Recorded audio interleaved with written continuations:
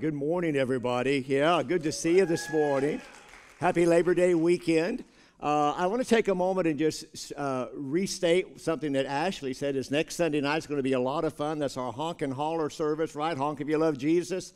And so, if you know somebody that hasn't been comfortable coming back yet, encourage them to just drive up and, and be a part of service that way. So, that's a great segue into welcoming our online church. And so, those of you that are online watching us, good morning. We love you guys.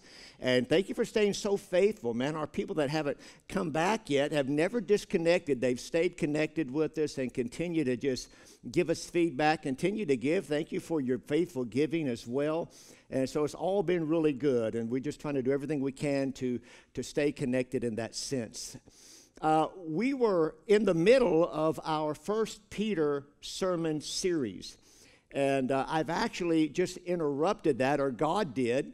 And uh, God put a message on my heart. And I, first of all, I love preaching in series, and here's why because it really gives you an opportunity to peel that onion, so to speak. You know, but sometimes we introduce a topic and then we don't get to go deep enough in just the short time that we have. But when you preach on that same topic week after week after week, you're really able to just dig in and find some great truths so that when you finish it, we all have a pretty good understanding. And that's one of the reasons I like to preach by doing sermon series. And then, but this particular time, God spoke to me and said, I, I got a message that I want you to share. And I really feel like it's from the heart of God. I said, God, that's a great idea. I'm, I'm going to preach that when I finish this series. And God said, Excuse me? I said, What I meant to say was, I'll get that in this weekend. So that's where we are. I want to share with you what God has put on my heart, and we'll wrap up First Peter, uh, those last two chapters, somewhere down the road. We'll get back to that. But I want to talk about today finding freedom.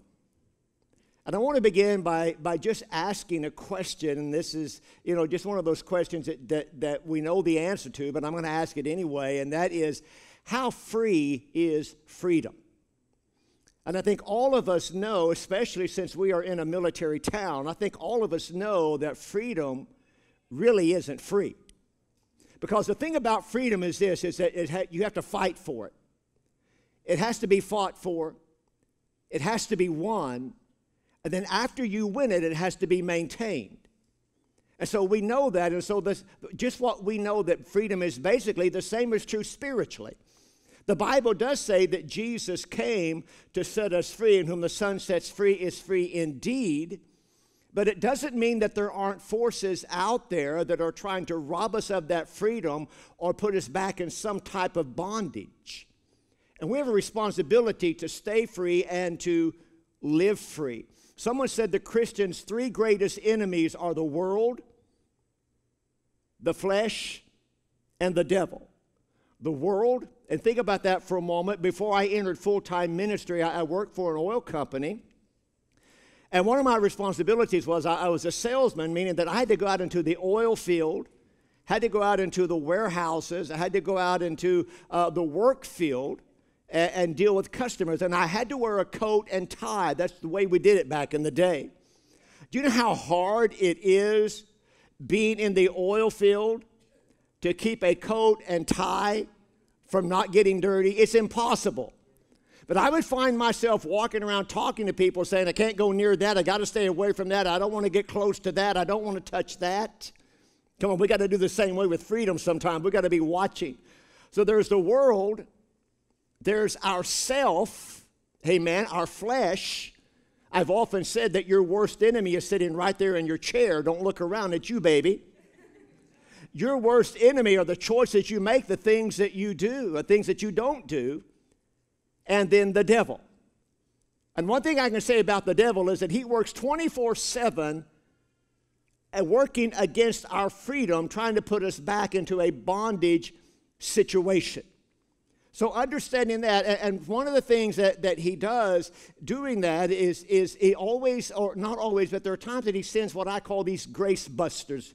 Not ghostbusters, but grace busters. And these are self appointed people that feel like they're deputized by God to tell you that you can't be that free.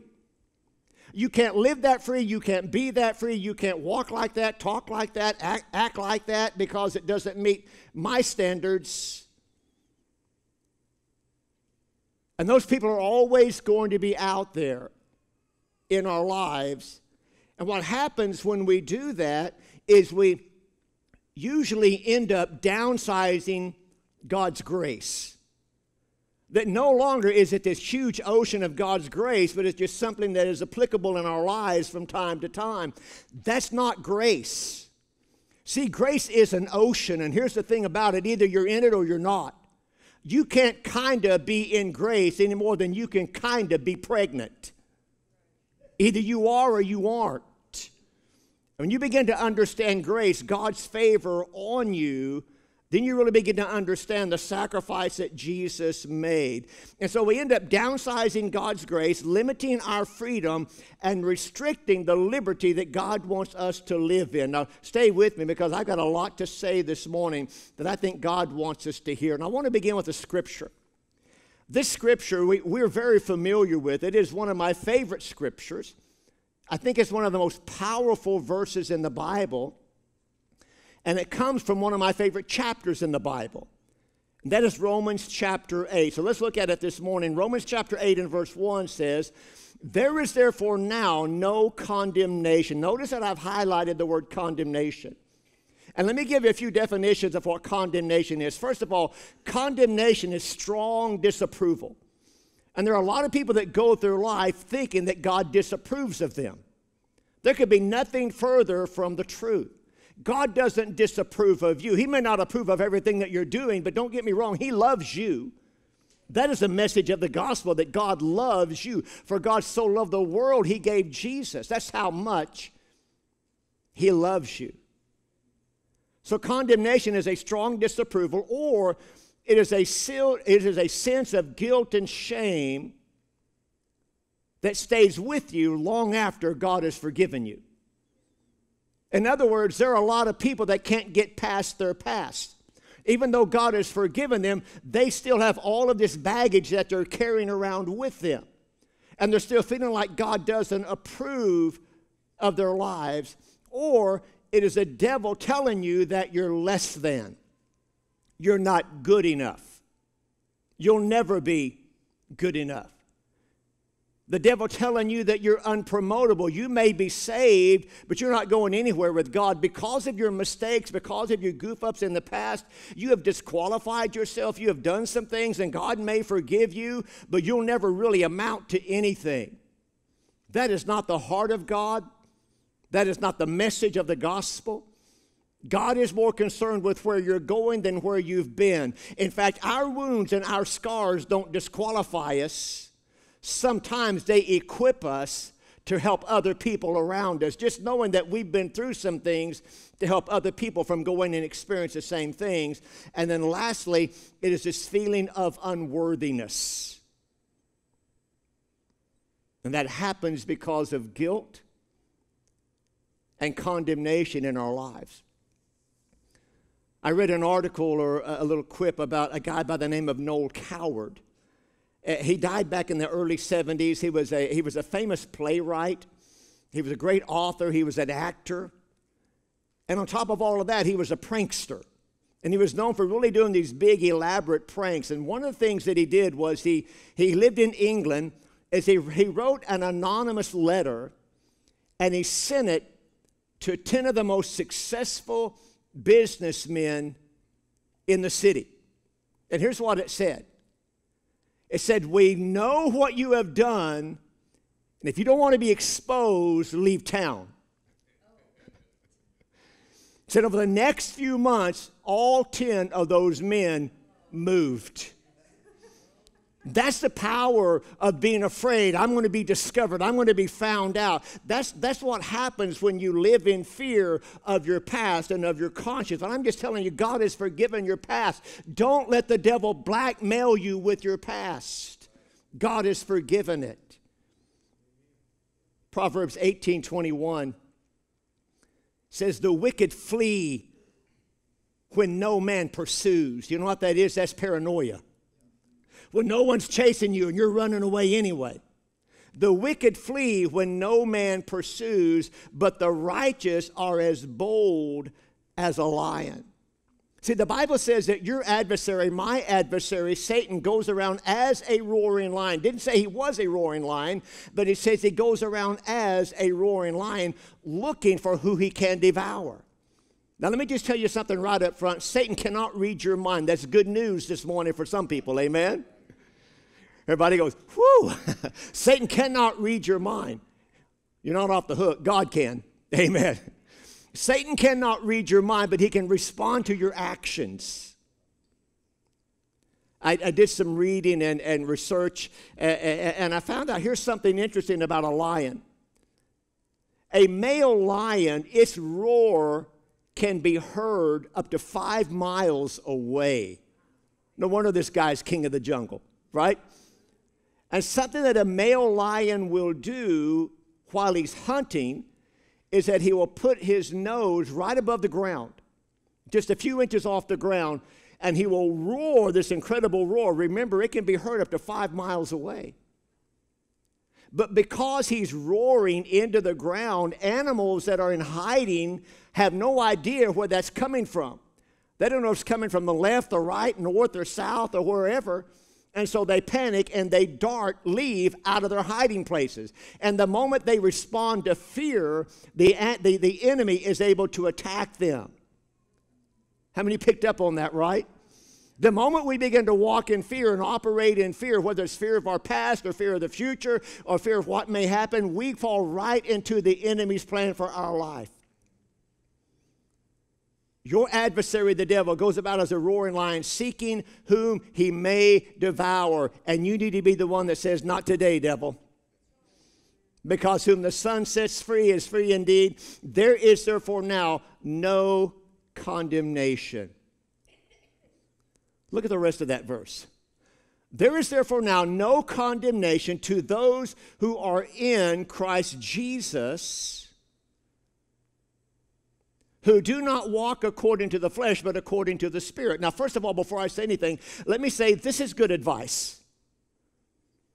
The best way to, the best way to avoid temptation is to walk in the Spirit. The best way to, to avoid the enemy is to live close to God. All right? So that's good advice, right?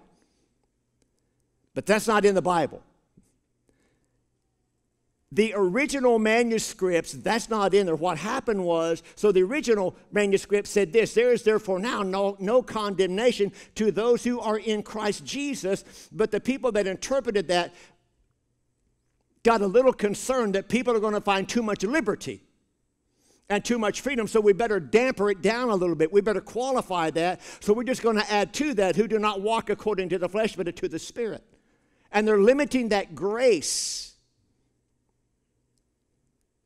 So it really says this there is therefore now no condemnation to those who are in Christ Jesus, period. That's good news this morning. Amen. Freedom of grace in our lives. Here's some great advice. Look at this next verse. John 3 17. For God did not send his son into the world to condemn the world. How many know there are a lot of people that think that's the reason Jesus came up? The reason that Jesus came was to make our life miserable. The reason that Jesus came was to point out all the areas that were missing it. The reason that Jesus came was, uh, was because he just wanted to make life hard for us. But Jesus himself said, My, my burden's light. All of you that are heavy laden, all of you that are burdened, come to me because I'm going to make life easier. Listen, Jesus makes life better. Amen.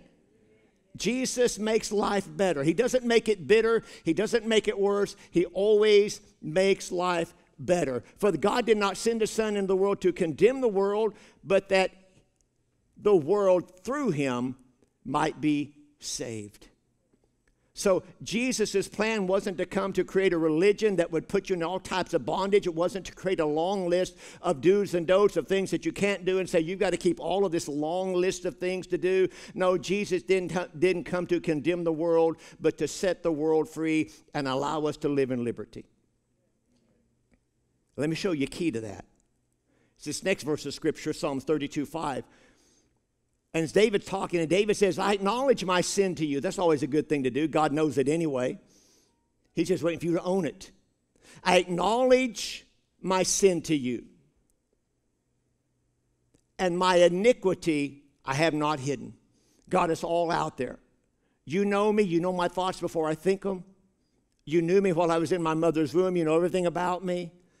And I said, I will confess my transgressions to the Lord. All of that's good, amen. That I just I just come clean with God, that's good therapy, right? And I just tell God, man, I've made mistakes, I've goofed up, I'm not trying to hide it from you, you know it already. I'm owning it so that we can get through this. But notice the last part of that verse, and you forgave the iniquity of my sin. See, we understand that God forgives us, but we also need to understand what forgiveness is. You, I, I confessed all of this stuff, I acknowledge all this stuff, but God, you forgave me. Sometimes we come to God and we make this confession, but we don't receive the forgiveness. We acknowledge all the things that we've done wrong. We acknowledge all the areas that we've fallen short. But the verse says, don't stop there. Understand the fact that God has forgiven me all of my iniquity. I've got a clean slate before God, I've got a clean canvas before God. So when I understand that I am forgiven, not that God is just overlooking and keeping all the guilt and condemnation, but God says, I'm taking that away. Here you go, start over again. That is a powerful truth for every believer to understand what God is doing there. So, what I want to do this morning is I want to give you seven grace filled statements. Now, each one of these statements that I'm going to give you could be a sermon in and of itself. There's so much truth. These are just powerful, powerful statements about the subject of grace. And I want to break them down a little bit because I'm really trying to help some people here, and I feel like this is what God wants to say this morning. Here's the first one is that God loves to bless people who don't deserve it. That's the very nature of God. None of us deserve the grace of God, the goodness of God. And God blesses us not because we deserve it, not because we're good enough, but because that's His nature. It's the very nature of God to do that, not because of us and, and we're so good and we're making ourselves better. No, it's the very nature of God. It says, even though you don't deserve it, I'm going to do it anyway. That's a great statement, amen. That is a powerful truth, right? Look at this next one. God's riches at Christ's expense. Someone broke that down and said, here's a definition of grace. God's riches, God's best. See, again, freedom isn't free. Grace isn't free. We enjoy it, we receive it freely, but it cost heaven everything that it had. For God so loved the world, he gave his son Jesus. Because he loved you, he took heaven's best and he sacrificed Jesus so that we could experience the grace of God in our life. So it's God's riches at Christ's expense. It's free to us, but it cost Jesus everything to redeem you. Redeem means to buy back. In other words, you belong to God. But because of original sin, you fell into the hands of the devil. And God came back and said, I'm going to buy you back from the devil. And so he redeemed you through the blood of Jesus Christ. Are you starting to get what grace is all about? How powerful it really is. Look at this one. Other religions say do. There are a lot of religions that say that if you're going to, you're going to serve their God, you got to do certain things, and you got to do them daily or regularly. You got to make penance, you got to make sacrifices, you got to travel, you got to do all of these things. Other religions say, do. And no matter how much you do, it's never enough. But Christianity says, done. I come to God, there's nothing left for me to do. Why? Because Jesus paid it all. He did it all, He made the ultimate sacrifice. And so God doesn't look at me and require things of me. I mean, and, and there's a great, great truth here. And I, I, if I can just communicate it clearly here. There's a great truth is that, is that I serve God now, not because I have to, but because I want to. And that everything that I do for God, I do because it's in my heart, not because I'm keeping a punch list. I was talking to someone the other day, and there's a difference between love. Jesus said, If you love me, keep my commandments. And it's like when I, when I understand that, that because I love him, I want to keep his commandments. There's a difference that if I go to my wife and, and every morning have a punch card and it says at 8 o'clock, tell your wife you love her. Honey, it's 8 o'clock, I love you. At 10 o'clock, compliment her. Honey, it's 10 o'clock, I think you're beautiful. How many know there's not a lot of sincerity to that? Right? I mean, I'm just punching, I'm just, I'm just marking things off my list. I'm just crossing through the list. I'm just trying to get through all of these things. But my heart's not in it. Jesus said, I've done it all. So now, since He's paid everything, I just want to love Him. I want to do it because that's my desire, because He loved me first. Justified. Man, I love this just as if I'd never sinned. That's what that word means. Just justified means just as if I'd never sinned. That's how God looks at me. That's how God looks at us. When He forgives us, we're totally forgiven. He doesn't hold our past over our head, He doesn't label us. Amen. But He looks at me, and I'm totally forgiven because of Jesus. The term in him or in Christ appears more than seven appears 70 times in the New Testament. Now here's the thing, if God says something once, it's significant. If he says something twice, it's very significant. But if he says something 70 times, come on, he is really trying to communicate something to us. And 70 times in the New Testament, he's talking about our relationship to Jesus is that we are in him or that we are in Christ. And I'll try to give you a picture of what that looks like. Let's just say, let's pick your favorite football team. And let's just say that they're in the Super Bowl. And so you are into because your team is in the Super Bowl, the biggest game of the year and you are cheering your team on. And when your team scores the final touchdown, the winning touchdown, what do you say? You say, We won. And my question is, what's this we business? What do you mean, we? What did you do? You didn't make any tackles. You didn't even break a sweat. I mean, the most physical thing you did was walk to the bathroom and yet you're sharing in the victory. You're saying, We won, we did it.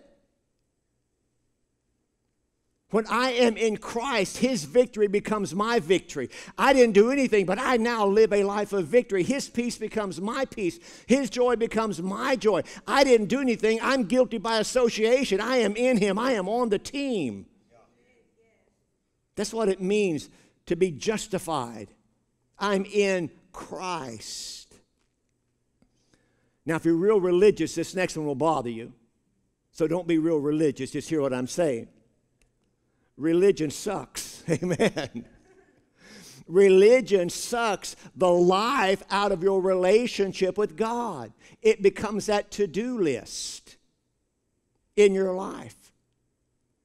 And it draws all the grace out of your life. When you begin to get religious and you begin to be acts oriented and you begin to be performance oriented, and we live in a world that we naturally want to do that because if you want an A, you got to work harder. If you want a promotion, you got to show up early, stay late. If you want a raise, you got to perform. If you want to be on the team, you want to be on the varsity team, you got to work harder.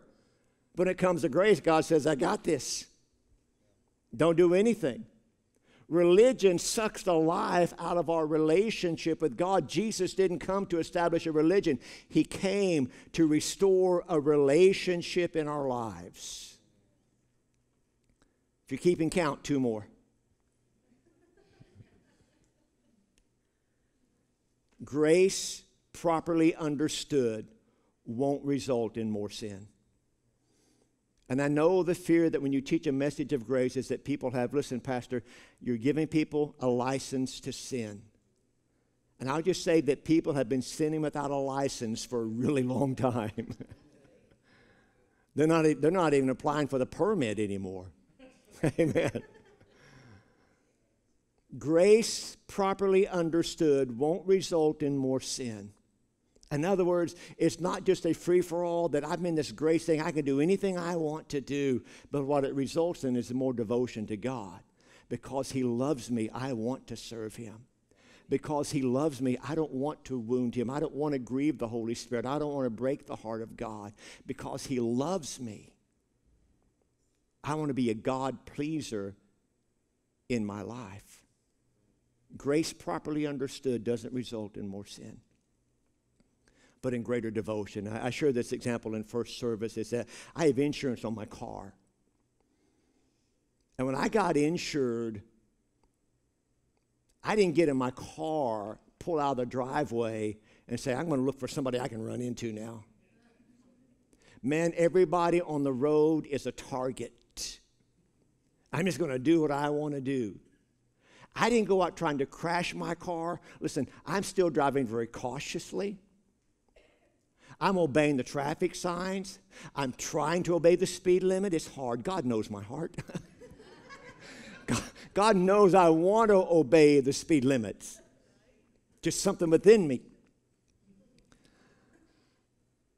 But if I happen to crash my car, I'm covered. It wasn't my heart, it wasn't my desire, it wasn't what I was trying to do. It happened, but I'm covered. Amen. That's a pretty good, that's a pretty good definition there. And then the last one is this condemnation says, shame on you. Reminds me of every mistake that I've ever made. It condemns me. How many know there's a difference between condemnation and conviction? Condemnation comes from the devil, conviction comes from the Holy Spirit.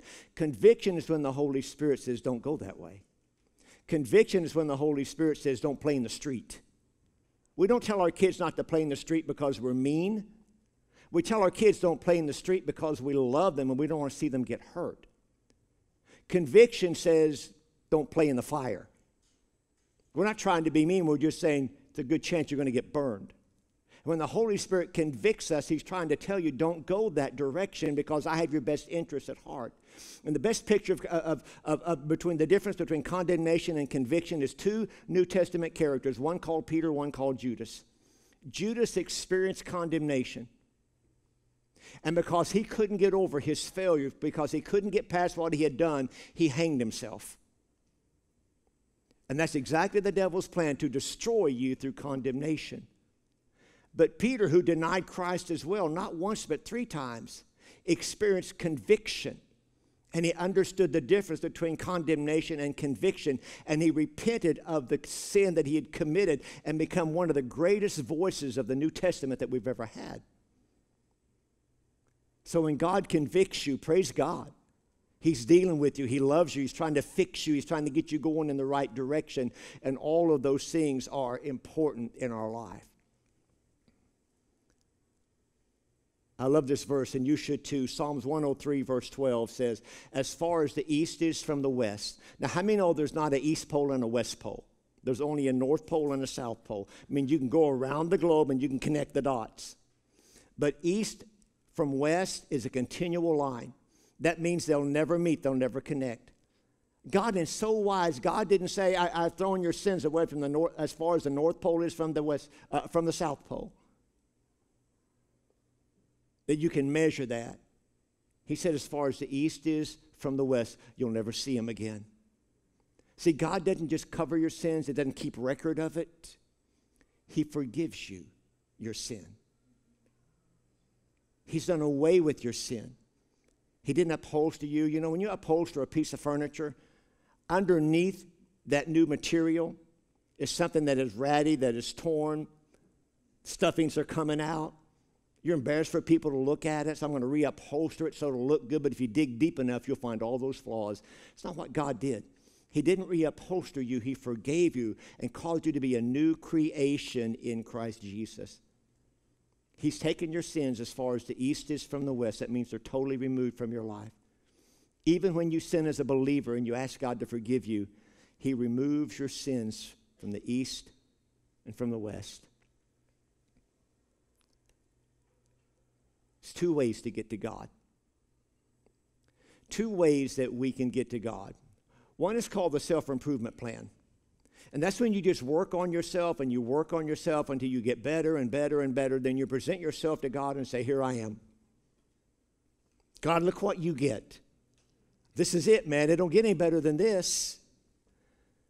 And God says, Your righteousness, your ability to try to be better by yourself is like filthy rags, dirty clothes, dirty diaper in the nostrils of God.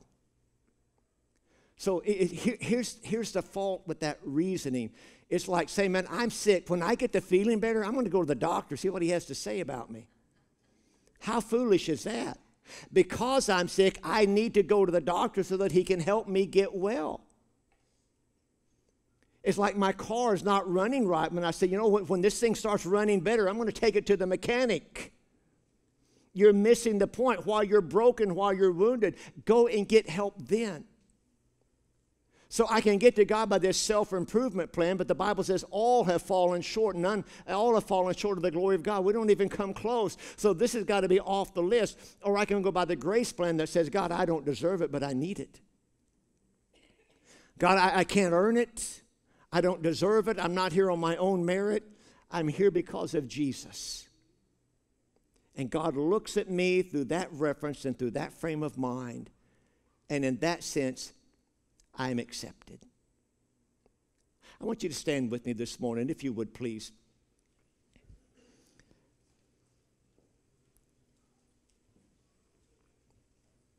I love the prayer of salvation for so many reasons. It is such an incredibly powerful prayer. And there's so much gospel in that prayer, so many, so much great theology in that prayer, so many great things in that prayer. And, we pray this prayer almost every week. And there's a reason that I do that. One, because people are getting saved every week, and we ought to give God glory for that. Amen. Amen. Go ahead. We can do it right now. We got time.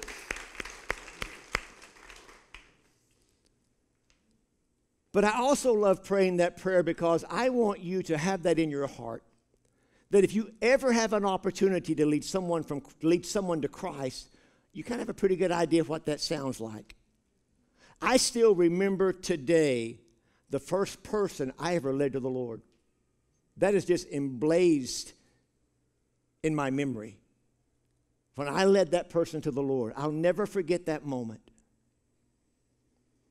And so I want you to know that. But in praying that prayer, at the end of that prayer, what happens is the miracle of the new birth. The miracle of the new birth is when Jesus makes you a new creation. 2 Corinthians 5:17, if any man or woman be in Christ, old things are passed away. Behold, all things have become new. It's when God puts his spirit into your spirit and you become something that has never existed before. You become a, you become a God man or a God woman, that your life is so entwined with Christ that you're different. Not perfect, but different, changed. And maybe you're here this morning and, and you say, Man, I, I've been living under guilt and condemnation. I want to come out from under that. You don't have to be perfect to leave that behind, but you have to know the one who is perfect. And if you've never prayed that prayer, that means I'm giving my life to God and I'm, I'm asking him, His Spirit to move into my heart, to move into my spirit. I'm asking Him to make me that miracle man, that miracle woman. I would love to have the opportunity to do that today. I'm not going to ask you to come forward. I'm not going to ask you to step out. You can experience God's grace right where you are.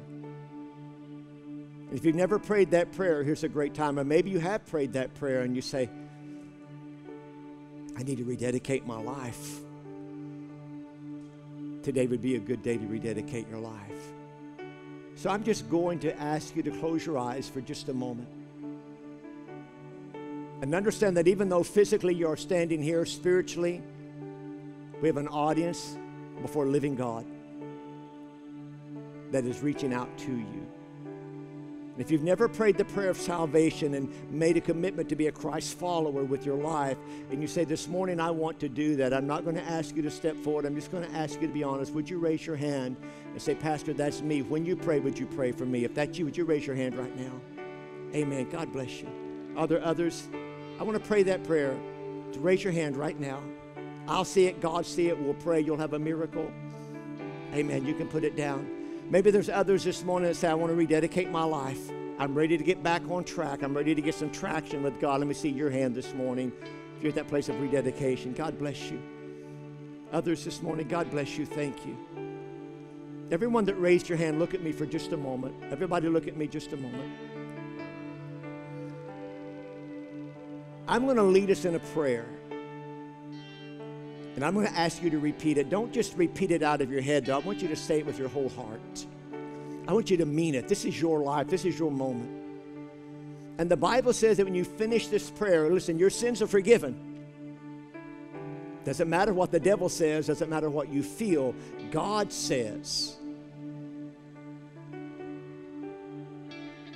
that old things have been done away with, all things have become new. That means you can leave here today with a load lifted. You can leave here today experiencing freedom. Say this prayer after me. Everyone together, let's say it together. Dear God, today I come to you just the way that I am. God, I'm sorry that I've lived my life without you, that I've run from you. But today I run to you. Jesus, I believe you're the Son of God. You died for my sin. You took my place. You rose from the dead and with resurrection power, today you offer me eternity with you. Come into my heart. I receive you as my Lord and Savior. I am forgiven in Jesus' name. Amen. Amen. Amen. Give them a hand and give the Lord a hand as well. Amen. Never grow tired of that. Never get tired of praying that prayer. Now, before we move on, first of all, those of you that prayed that prayer, you need to tell somebody. If you need to get on social media and you need, that's social media. If you didn't know that, that's social media. My social media. All right? You got to quiet the whole room. Anybody else like that when you get on social media? You got to make everybody be quiet? That's me. If you need to get on social media and tell somebody, if you need to call somebody, you need to tell the person next to you, hey, wake up, I just got saved while you were sleeping, whatever you need to do, that's okay. Just let them know. we would love to, we would love to be one that you tell. There's a card on the seat back in front of you if you want to fill that out. Drop it in one of the offering receptacles. Just hand it to me. When I get it, I'll give you a card and, and a letter and just want to let you take that, help you take that next step in your life. But we're so proud of you and thank you for doing that. But if you're here this morning, I want to pray this prayer and you say, Man, I am fighting for freedom. The devil has been at me because that's his job. And I'm fighting to stay free, and I've got all this baggage and all of this stuff that I, I've carried around. today, I just want to really be free. Amen. Can we just take a moment and lift our hands and experience the freedom of God? Father, I pray for everyone this morning that desires freedom in their life. Father, that right now, today, we experience God's grace in our life. And Father, everything that the enemy has worked to put on us and to hold us back, the, the weights of sin that so easily entangle us, Father, right now, we let them go in the name of Jesus because we are a free people, free to serve you, free to love you. We cannot afford to get tangled up. We cannot afford to get tied up in all of the things of this world. But Father, we let them go in the name of Jesus. And we experience your freedom in our hearts and your freedom in our lives. God, we embrace it right now in the name of Jesus. And we hold up hands as free men and free women, that we are free in our mind, that we are free in our spirit. And Father, that we are purposing today to walk in greater liberty and greater freedom out from under condemnation because we repeat it again whom the Son sets free, amen, is free indeed. Amen. Amen. Let's give the Lord a hand one more time. God bless you this morning. God bless you this morning. God bless you this morning. Those of you that are watching online, we love you. Thank you for praying with us. We're going to worship God with this chorus. Those of you that are home, worship with us together this morning. We love you.